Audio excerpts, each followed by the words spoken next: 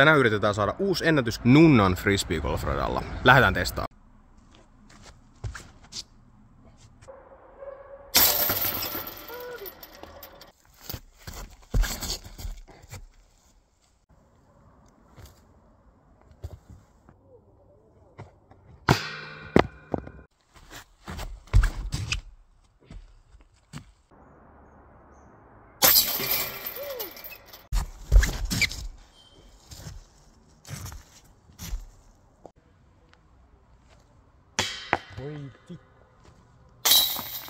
Vähän ehkä harmittaa, että toi viimeinen putti ei mennyt. Olisin päässyt takas paariin, mutta uusi ennätys tuli silti, plus yksi. Ja siellä oli kuitenkin aika paljon semmosia tyhmiä juttuja, niin kuin esimerkiksi puttiralli yhdellä väylällä. Että tuli plus kakkonen, vaan mä puttasin birdie ja kyllä täältä nyt helposti miinuksella päästä, jos vaan kävisi enemmän täällä.